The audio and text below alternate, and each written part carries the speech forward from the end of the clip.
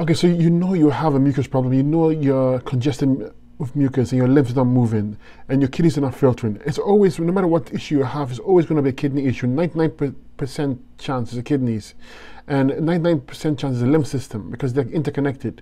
Okay, and if you don't have the money for the herbs, let's say, or you can afford only one kind of herbs. If it were me, I'll be on the kidney herbs and, and nothing else but the kidney herbs. And I would also be on a 20 to 30 day grape only diet dark grapes.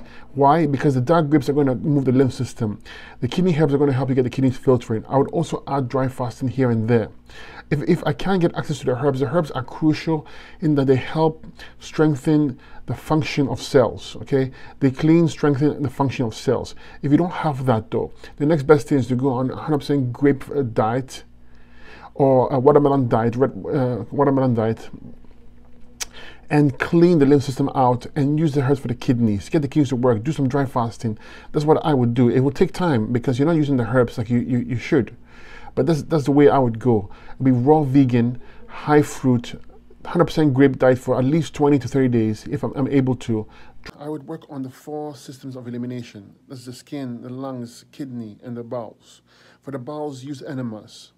For the skin, sweat, steam baths, are, are great for that, or sauna, a steam sauna. Okay, for the kidneys, the herbs and the dry fasting. For the lungs, deep breathing. So all those four things have to be in line with the diet. That's how I would use it to heal.